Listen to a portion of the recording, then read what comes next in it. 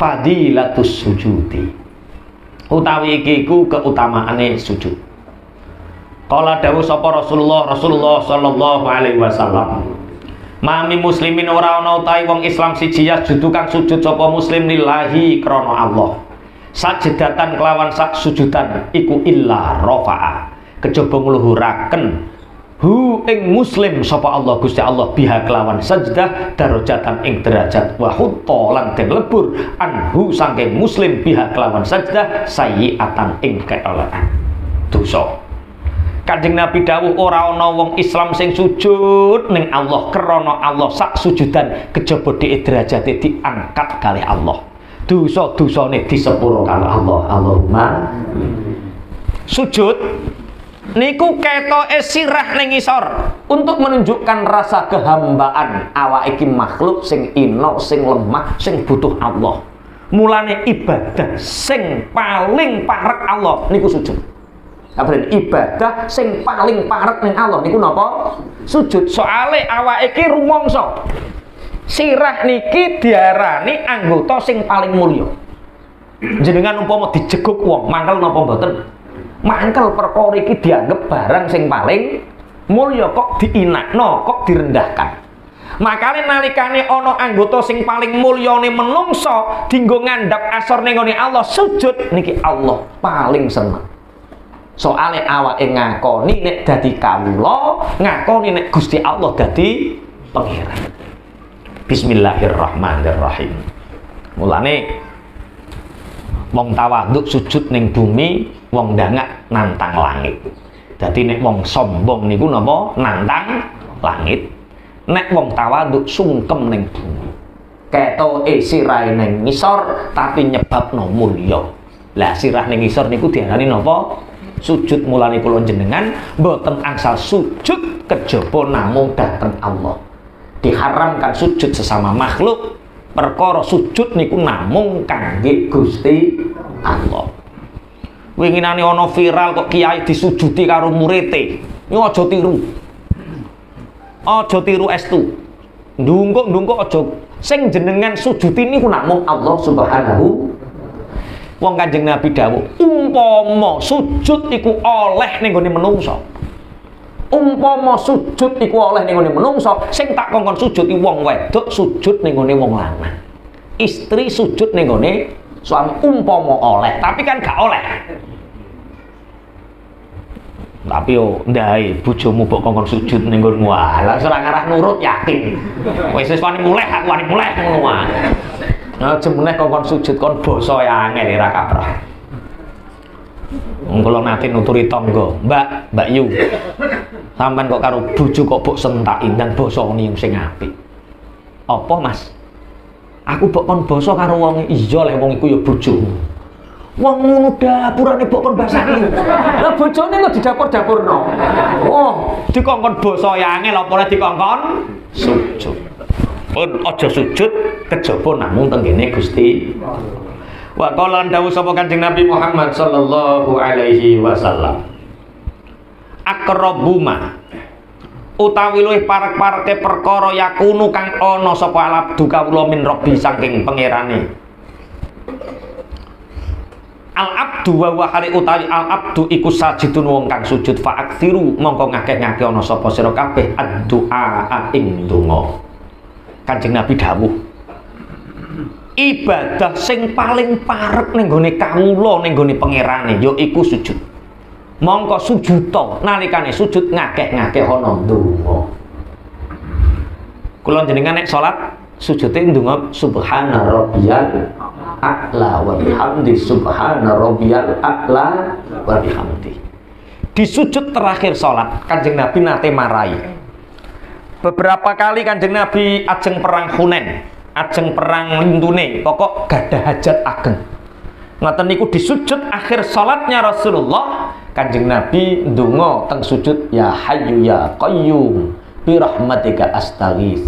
Ya hayyu ya qayyum bi rahmatika astaghith. Ya hayyu ya qayyum bi rahmatika astaghith. Hei zat sing jumeneng, hei zat sing sugeng, bi rahmatika astaghith. Dengan kasih sayangmu tolong aku meminta pertolongan. Lah, di doa sujud paling akhir niki tidak ada doa yang tidak dikabulkan oleh Allah. Saat api indungo niku wayah sholat. Tapi dungane ora oleh basa Jawa ora oleh dengan lafat sing batalke salat dungane teng pundi? Jenengan dungane teng ati. Kecuali donga sing kaya Kanjeng Nabi ya hayyu ya qayyum bi rahmatika astaghith oleh diucapke. Tapi nek sak liyane kuwi ya ya Allah Wayoh ya Allah, wayoh wayoh batal salatmu wong wayah sujud kok wayoh wayoh batal. Ya Allah utang lunas, ya Allah utang lunas. Batal. Nek muni utang lunas kudu ning jero. Ati aja ucapno. Subhana rabbiyal a'la wa bihamdi, subhana rabbil a'la wa bihamdi, terus utangi lunas ya Allah, utangi lunas ya Allah. Tidak ada ibadah yang paling dekat antara hamba dengan Tuhannya mengalahkan sujud. Maka perbanyaklah sujud dan berdoalah. Waqala dawu sapa Gusti Allah taala simahum fi wujuhihim min atharis sujud simahum tetengere mukminin fi wujuhim ing dalam pira-pira wajah mukminin min ataris sujudi saking labete sujud. Yakni ngersakaken sapa Allah nurul khusyu'i ing cahayane kekhusyuan. Fa innahu mongko nur iku yusyriku mencorong apa nur minal batini saking jero ala zahiri tembus ing atase njaba. Simahum fi wujuhim di wajah orang-orang mukmin itu ada cahaya bekas dari sujud. Bapak Ibu niki ikhtilaf di antara para ulama. Ono sing darani simahum fi wujumin atari sujud niki ireng-ireng sing kaya apa to jenenge? Dengkole jaran eh kok apa? Kapal. Kapale kapal. Iya, iya, iya. Sampean paham gimana maksudnya nggih? Nggih. Enten sing darani itu cahaya. Mulane teng ini Imam Ghazali cahaya yang tembus dari batin menuju zahir. Artine bukti bekas sujud niku yo ya ora kudu ireng tok. Yo ya ireng kuwi bekas sujud jenengan nek kepingin bekas sujud niku nemplek gampang. Sebenarnya ini hanya ikhtilaf mazhab nek mazhab Imam Syafi'i sejajar mangke kula terang nek wayah wayahe salat niku sejajar niku nek cara salat e Imam Syafi'i sejajar niku harwa mangkibai niku jempol lurune niki nemplek teng kuping. Niki dadi hatwa mangkibai niku wa mabsutotani wa asabi uhuma mansyuratun. Kemudian wala tafrijuhuma bihaitsu tuhadi bi ibhamaika syahmatai udunaika dengan sekiranya dua jempol menyentuh gedonge kuping. Niki sejajar. Enten sing maknani hatwa min sejajar niku sing sejajar niku drijine. Mulane nek salat enten sing ngeten enten sing ngeten enten sing ngeten. Niku pemahaman saja hadisnya sama Nah sampean sing derek sing pundi, ya karek kiyaine sampean nerangno sing piye. Ora oleh mbok angen-angen dhewe. Ngaji niku kudu riwayat wa diroyah, ya ana tekstuale, ya ana sing praktek. Lah sing praktek kiaimu, gurumu, syekhmu kowe mengikuti. Berarti kabeh bener. Sing keliru sing ora salat.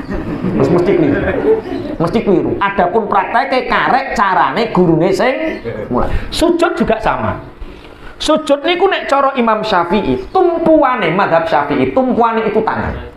Makanya rata-rata madhab Syafi'i niku bathoke ra patek ngapal. Karena tumpuannya tangan. Sedangkan di madhab yang lain niku sejajar niku diarteni tumpuane niku batok, tangan niku seitik. Mulane terus jadi ngapal. Berarti kapal ku yo apik dadi tondo simboli wong mukmin, orang ngapal yo ora apa tapi wajahmu bersinar, akhlakmu bersinar, lak bete sujud. Kok bener kabeh to? Ya bener sing kliru sing ora tau sujud. Ngeslot ae. Ora tau sujud ngeslot ae kliru. Paham nggih maksudnya nggih? Tekstual hadisnya sama, cuma prakteknya yang berbeda.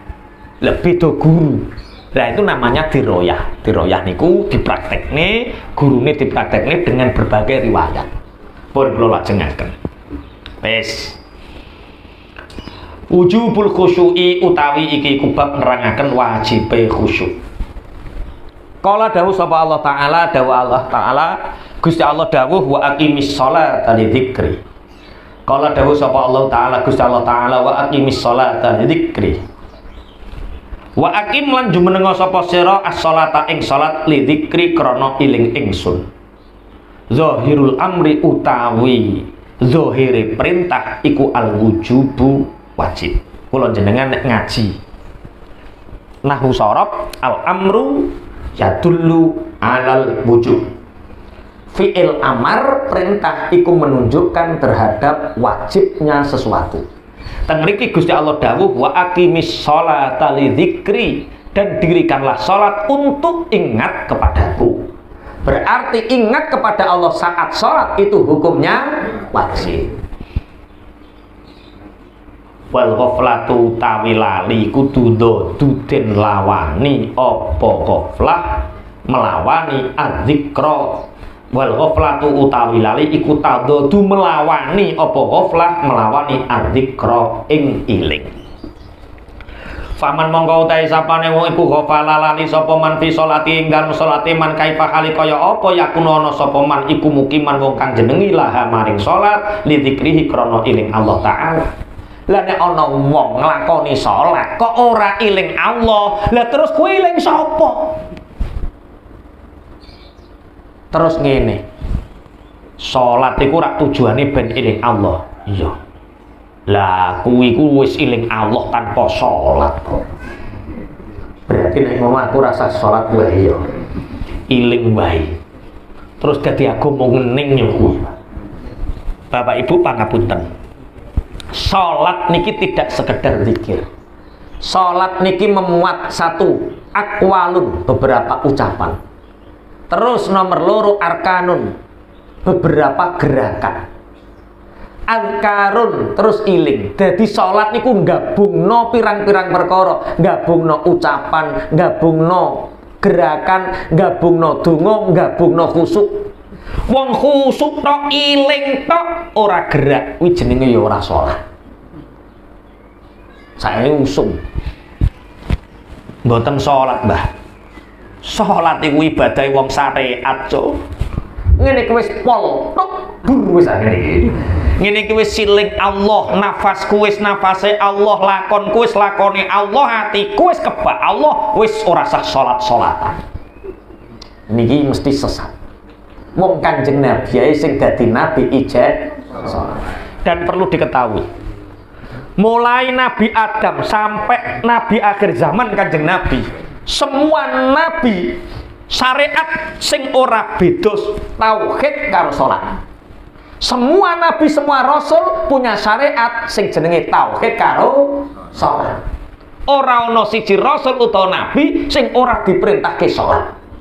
Saged dipahami mulane ana wong kok jere wis dur tenggone Gusti Allah terus tanpa salat kuwi aja percaya. Sapa wae aja percaya Lha kok mbok guyu wis tau to sampean? Wis tau pengalaman. Soalnya kula nate wong model ngeten iki nate. Kleru nek mahami. Sowan tengene mursyid toriko. Nggih sakareng kula sowane, ilmune padha. Dawe mursyid niku ngeten. Wong nek wis mlebu toriko ngene iki. Kudu wani ninggalno salat. Oh wani ninggalno salat kanca kula guyang wis awake wis madhep mantep niki Dek cara alhamdulillah oleh bonus gak salat. Lah kula tambah salat mempeng. Bingung dek. Sampean wis didhawuhi mursyid kon ninggalno salat. Kok tambah nglakoni salat? Lho kowe gak paham sing dikarepno mursyid sing dikarepno wani ninggalno salat kuwi maksude kowe salat ping 1000 rakaat kowe kudu rumangsa urung nglakoni salat seoro awake iki kamula Kamu lo kira iso nglakoni salat. Sing iso nyebabno awake nglakoni salat kuwi Gusti Allah. Justru dawuh ninggalno salat. Kowe nek jek nglakoni salat kowe rumangsa kowe sing salat. Tapi nek kowe ninggalno salat, salatmu iku atas maunahe Allah. Mestine kudu tambah luwih mempeng nek salat sampai kowe rumangsa ora tau salat. Saged dipahami ngeten iki. Tambah blarah dhek tambah fasik piye mlebu tok reko tambah fasik mlebu tok reko tambah ora gelem nglakoni salat kuwi sing pertama sawaneh sawaneh niku nggawa rokok rokoke niku kanca kula niku jarum 76 niku jarum. Ya sing setunggale samsu. Rokok terus kalih mursid toriko niku. Kula mboten rokok. Kula kawit biyen niku ora ora seneng rokok. Yo umpama ora perhitungan umpama rokok tak klumpukno duit rokok yo wani tak tukokno botong gawe pondok. Karuan jelas ngono. Nah niku rokok. Lah ya ini ku dawuh ngeten mursyid toriko rokokmu iku sok ganti sukun. Rokok kok jarum rokok kok samsung ganti sukun. Sampean ngertos rokok sukun? Rokok wong tua ngoten lah ngoten niku teko omah. Ya tuku rokok sukun tenang. Oh tak bentuk-bentuk no makanya orang yang tidak paham ahwal ahwal wong syariat toriko yo ya sesat ini gimana wong orang ngerti syariat belajar toriko jadi kafir zindik yang luwi wong dikongkon tuku rokok suku apa dikongkon ganti sukun yo ganti sukun tenang deh tak gawe ngono yae nek dawuh kowe iku mbok yo aja dadi cah nom terus perilakumu. Mbok yo dadi wong nyepuhi wong nyepuh niku rokokane apa? Sukun. Maksudnya ngono ora kok rokokmu sing mbok ganti kelakuanmu kuwi lho. Ora paham-paham. Lho wangel pancen wong ngoten iki. Lho padha ngene iki Allah salat supaya eling aku terus dia rumangsa wis eling terus ora salat fasik iki jelas fasik pun bismillahirrahmanirrahim tapi wong salat kok ora eling Allah terus sing mbok eling-eling. Sopo? Sopo sing mbok eling-eling? Lho, hijabe salat niku kata ilmu. Nek nek teng kitab kitab Ibnu Imam Ghazali. Mboten sing mau Idul Mukminin niki sing Ihya. Hijabe salat niku pertama ilmu. Ilmu niku lho dadi hijabe salat. Mulane kowe nek salat tinggalono ilmumu. Masuke dadi al-qurra wong sing ahli maca Quran waya salat iling pangeran aja iling ilmu waya salat dadi makmum. Allahu akbar. Alhamdulillah. Bar idhar komar ya ora kathok lha yo salat kok iling idhar komar ya waya salat kok iling idgham samsiyah iki mulane nek salat kudu ninggalno ilmu madhep ning pangeran. Salat kok iling idhar komar ya idhar syafawine kurang piye? Bismillahirrahmanirrahim. Ghairil maghdubi alaihim. Ah tawallut tawallut. Kedawan bine kuwi tambah jadi juri tajwid kuwi apa madhep pangeran atau apa menghakimi imame? Sakit dipahami ya oh ternyata ilmu itu juga menjadi hijabnya sholat. Tapi kue khusuk terus yo lali rokaate ono khusuk oleh piro nek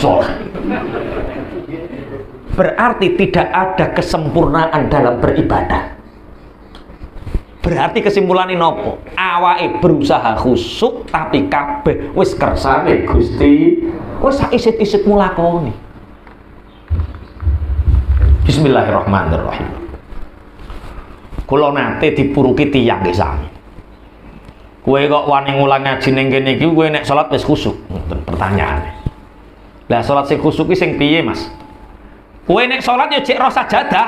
Tak kowe lah nek sampeyan aku nek salat wis ora roh sajadah. Aku nek salat wis teko langit nomor piro? Kula nggih. Anu Mas. Ayo do salat saiki. Tak enteni ning langit nomor telu. Bingung deh. Pokoknya sampai agak petuk kue goroh kue terus mau weneng deh gayane gitu ya Allah ya Allah. Pun awake iso salat niku kersane Gusti awake iso khusuk-khusuk niku fadl kanggone Gusti Allah. Pun lakoni mawon perintah Allah. Dene eneng kurangi disepura Allah. Allahumma amin. Pun wa qala dawuh Sapa Allah Subhanahu wa taala wala takum minal ghafilin wala takun lan aja ana sapa sira. Aja ana iku minal ghafilin setengah saking pira-pira wong kang padha lali. Wa qala dawu sapa Allah taala qad aflahal mu'minuna alladzina hum fi salatihim khashi'un. Qad aflaha teman-teman bejo. Sapa al mu'minuna pira-pira wong kang padha duwene iman alladzina hum alladzina rupane wong akeh hum kang utawi alladzina fi salatihim ing dalem salate alladzina iku khasyuuna pira-pira kang anteng kabeh. Jalan dadi akan sapa Allah awala maroti bil falahi ing dalem kawitane pira-pira runtutane ganjaran nih al falah kabegjan. Dadi akan al khusyu'a ing khusuk fi sholati ing dalam salat iklaman krana meruhaken bi annaman kelawan sedune wong. Faqada kang kesepen sapa manhu ing khusuk fahuwa mongko utaiman iku bimarohila kelawan piro-piro derajat anil fauzi aduh saking bejo. Wan najah hilang selamat. Alladhi wa kang utawi najah iku maknal falahi artine falah. Gusti Allah dawuh teng Al-Qur'an wala takum minal ghafilin. Kowe aja termasuk golongane wong-wong sing padha lali. Gusti Allah didhawuh teng surat Al-Mukminun qad aflahal mukminun sungguh beruntung orang-orang yang mukmin Siapa mereka? Alladzina hum fi salatihim khashi'un. Orang-orang mukmin itu yaitu orang-orang yang ketika menjalankan salat dia punya khusyuk. Gusti Allah ndadekno khusyuk niki di awal di awal syaratnya wong mukmin kudu khusyuk.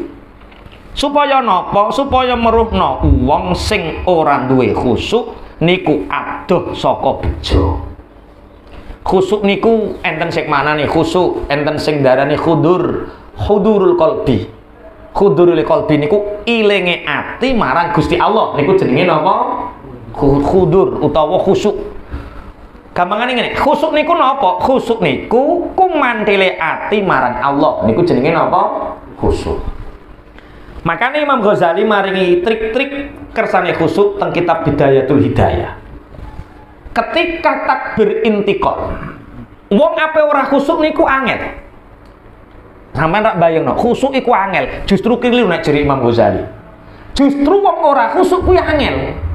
Lho kok iso? Gusti Kanjeng Nabi wis maringi tatanan mulai takbiratul ikram ra iling Allah. Allah wis nyebut Allah wis iling Allah akbar. Kabira walhamdulillahi katsira iling Allah maca Fatihah ya jek Allah maca surat ya jek Allah. Kokot takbir intikal. Allahu akbar. Rukuk. Aja mbok marani takbire saurunge mapanmu wis sempurna ning rukun selanjutnya contohnya kaya wayah bar. Maca surat kan arepe napa? Rukuk nek wis sempurna ruku lagi Allah wis sempurna. Allahu akbar. Supaya napa kok takbir intikal niku dawa uh, takbir dawa? Supaya ora ana jeda awake iling Gusti Allah. Contoh, sami Allahu liman hamidah. Nek wis rampung, lagi diselesaikan. Terus maca donga. Terus bar kan sujud. Sujud niku takbir sampai sempurna. Allah. Wes sujud sempurna lagi akbar. Supaya tidak ada jeda awake ora iling Allah. Selalu ingat ning Gusti Allah. Ngoten. Yang jenengan ora tau sinau dadi ora tau dulu ngene iki. Khusuk kaya wangel gampang. Nek dipraktekno tetep gampang. Dinikmati mawon wong kula nek ape salat ya kandha Gusti Allah Nek arep salat niku nggih kondo. Ya Allah ngeten iki salat kula jenengan tampi monggo mboten tampi gini kersane jenengan. Dadi aja sampai salat niku dadi beban diterima apa ora. Tapi salat itu sebuah anugerah terbaik pemberiannya Gusti Allah jenengan ditakdir iso salat niku sing nekdir sapa? Allah itu hadiah terbaik dari Allah. Dinikmati mawon. Pun bismillahirrahmanirrahim. Wa qala dawu sapa Kanjeng Nabi Muhammad sallallahu alaihi wasallam.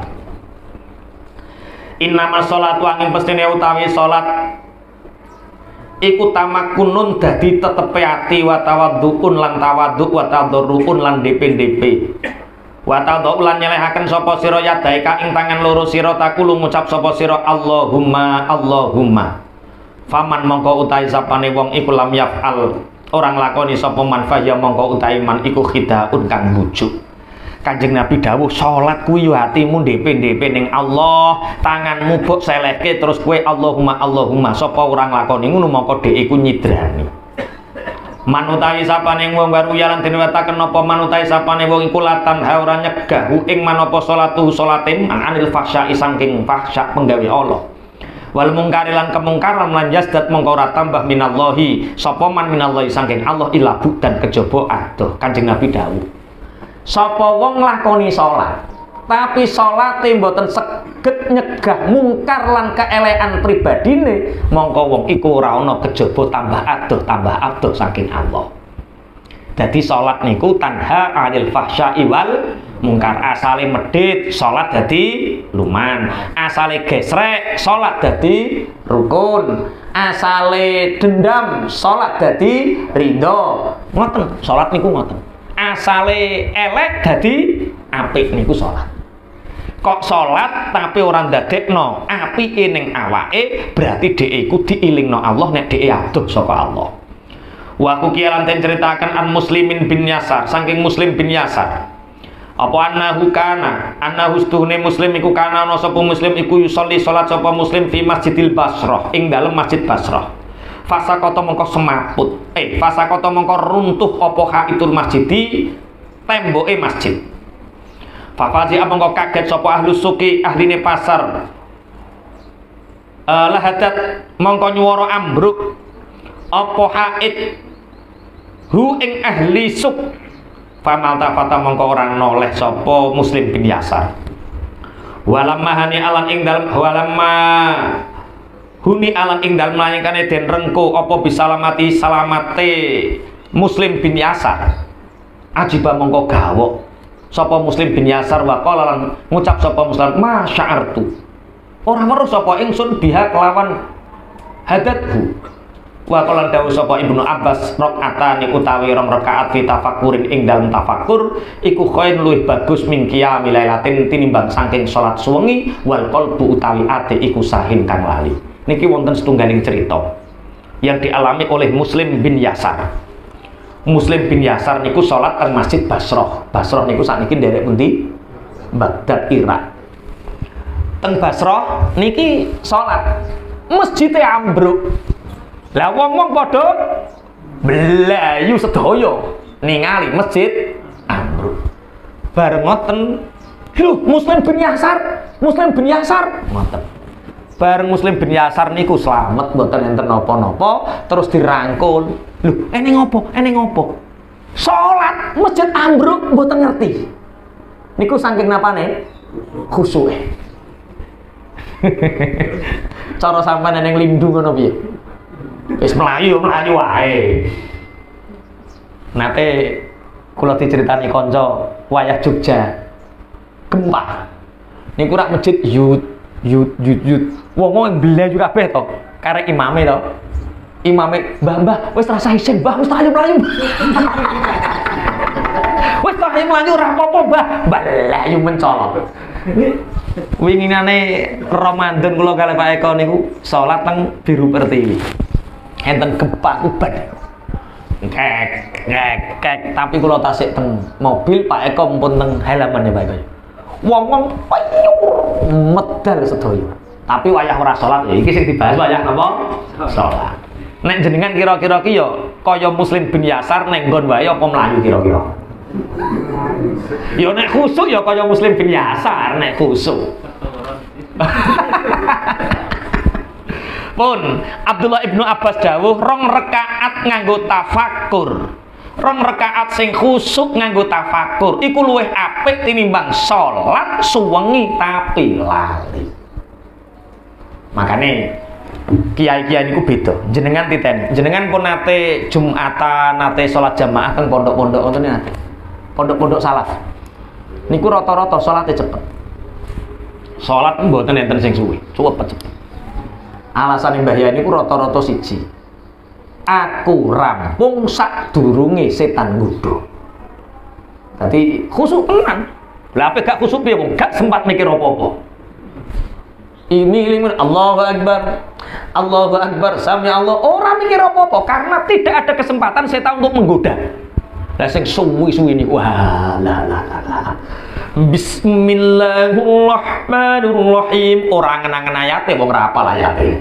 Orang ngerti artine ayate salate suwi. Wis iku setan mulai bergerak iling renorno tanggungan BRIC sakne BRIC iling kabeh. Tapi nek cepet cepet tapi tumak ninah ora cepet tenanan. Cepet tapi tumak setan urung godo salate wis bar. Lagi ancang-ancang tok wis bar. Aman nah itu pondok putih-putih kula niku nate Jumatan nang pondok ringin agung. Sami ya cepet. Sing suwe solawatan sallallahu alaihi salat solawat solawat asli ringin agung. Jadi anak kula sing barep. Solawatane sawi khutbah sediluk salate sediluk bi. Iku tandane wong alim ya.